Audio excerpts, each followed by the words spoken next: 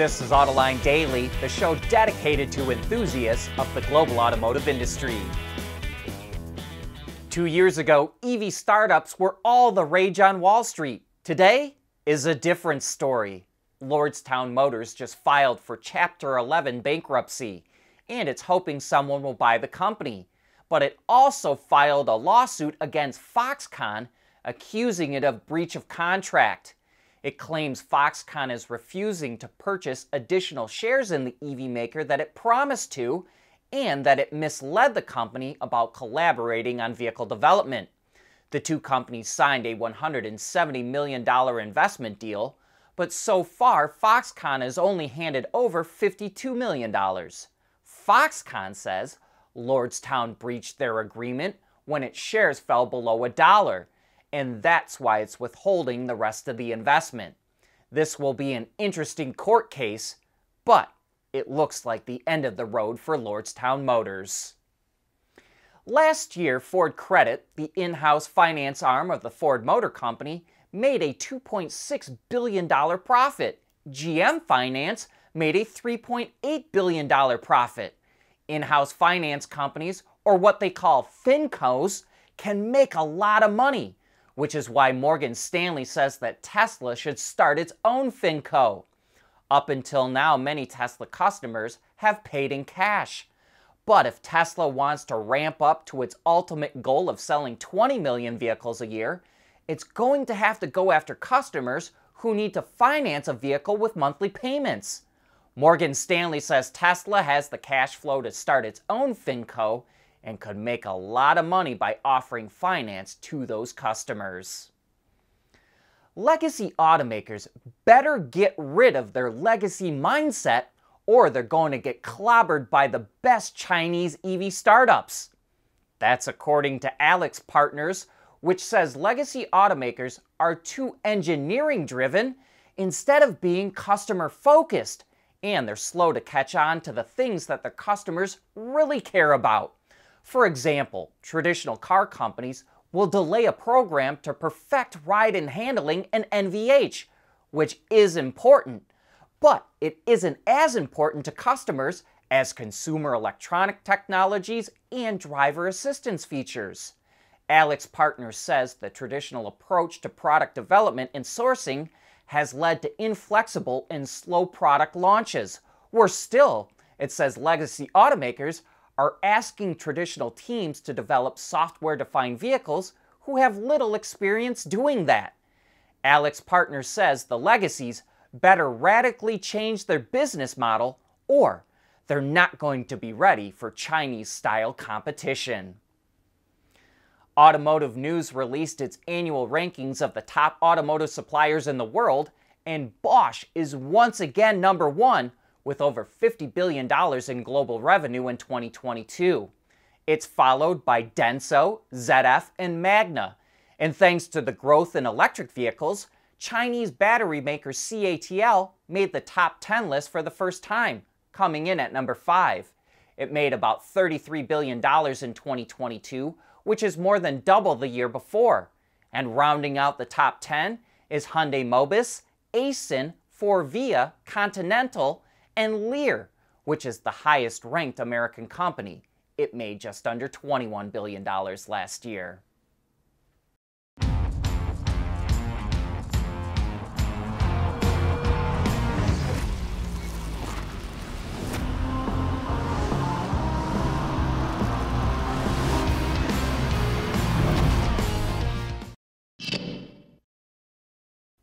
Toyota revealed the all-new next-gen version of the C-HR. Styling of the small crossover is still fairly radical, especially the rear-end treatment. But the front-end design is much more similar to other new Toyota models like the BZ4X and the Prius. It's also available with a two-tone paint job that accentuates the rear end, as well as Toyota's first flush-mounted door handles. Interior highlights include available dual 12.3-inch digital displays, and we like how the dashboard wraps across the door panels, which draws your eye to the round air vents just below the A-pillars. The new C-HR is only offered as a hybrid. There's a 1.8 liter and a 2 liter hybrid available, and a 2 liter plug in hybrid option.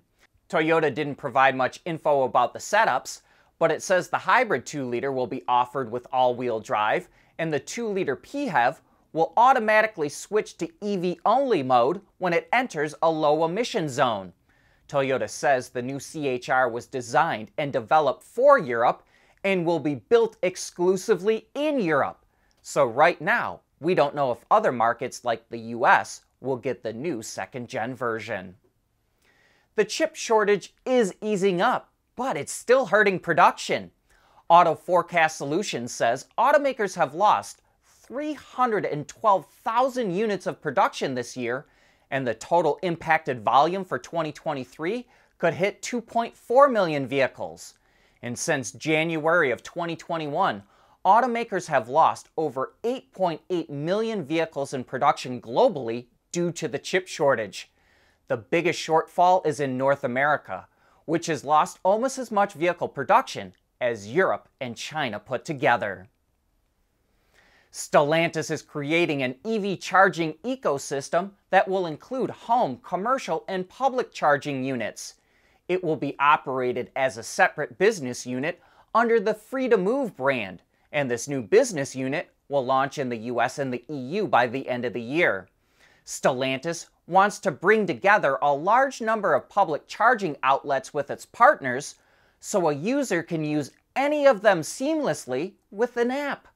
But Stellantis also makes it sound like it will build its own public charging outlets, like the Jeep units that it has located at some off road trails. Chevrolet revealed it's not going to offer a $40,000 version of the Silverado EV work truck, or WT, which was its original estimated base price. But Chevy joins Ford, who started selling the F 150 Lightning Pro at roughly $41,500, but it now sits at nearly 62 grand. And Elon Musk recently indicated the base $40,000 version of the Cybertruck won't happen either. Tom Moloughney, a recent AAH guest, reports on Inside EVs that Chevy says it will eventually come out with, quote, competitively priced versions that start at 50 grand, which means with incentives, it could push the price back into the $40,000 range. However, the first versions of the Silverado EVWT to launch will be priced much higher, Already in production is a version with a bigger battery pack that offers up to 450 miles of range, which starts at roughly 80 grand.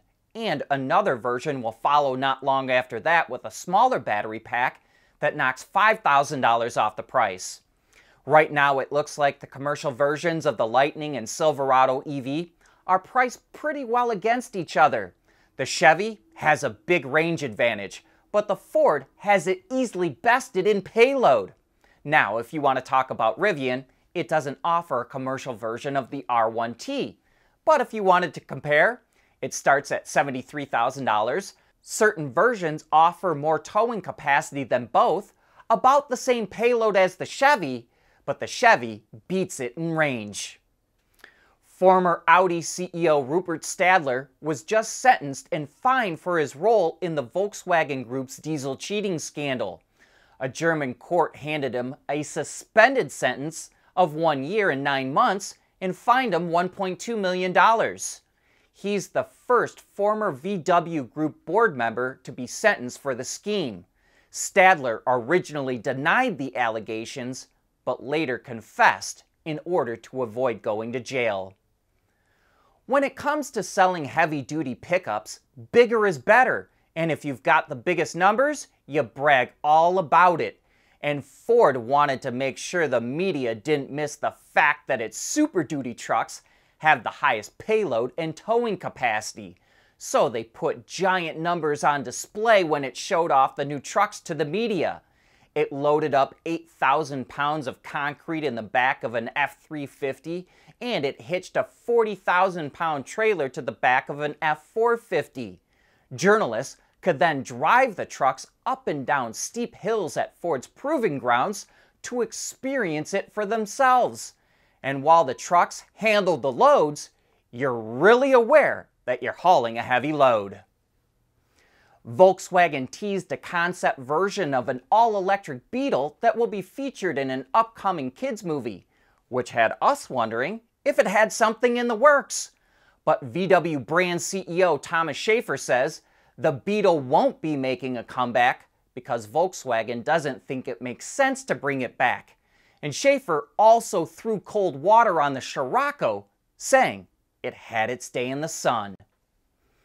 Performance station wagon fans will be happy to hear that BMW is bringing back a touring version of the 7th generation M5 it hasn't had one since the fourth gen launched in 2007. The new M5 Touring will feature a new powertrain that it says is partially electrified, but it didn't give any technical stats. Both the sedan and station wagon versions are undergoing tests right now and should be out next year. And a programming note here. Autoline will shut down next week for our summer break, so there won't be any Autoline dailies or an after hours. But we'll resume our normal schedule on the 10th of July. And with that, we wrap up today's show.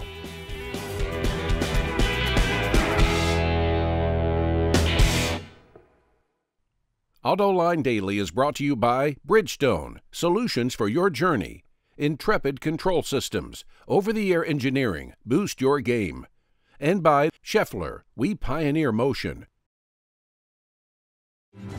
At Schaeffler, we pioneer motion. Electrifying mobility. Manufacturing smarter. Reducing CO2 emissions. Making energy production clean.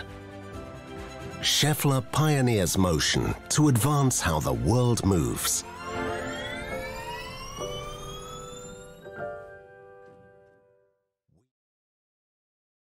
We want to know what drives your testing. OTA, connected car, diagnostics, remote testing. Intrepid Control Systems is here to help you work from anywhere. Intrepid Control Systems, driven by your data.